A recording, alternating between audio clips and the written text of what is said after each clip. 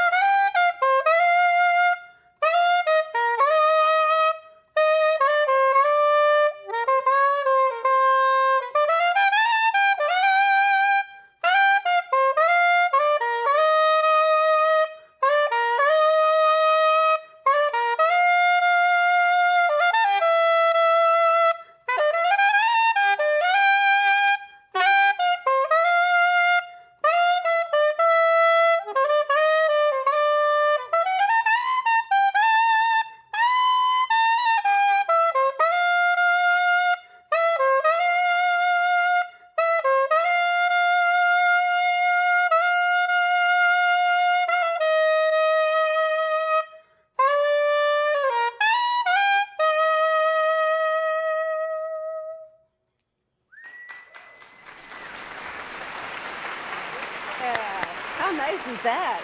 James Saxmo Gates with us this morning with Overjoyed. James is the musical headliner for the Executive Blacklist that's currently underway through Sunday, February 9th at various locations right here in our Richmond community. James will perform live on Sunday, February 9th. For all the information, including ticket information, visit our website later today, WTVR.com slash VTM.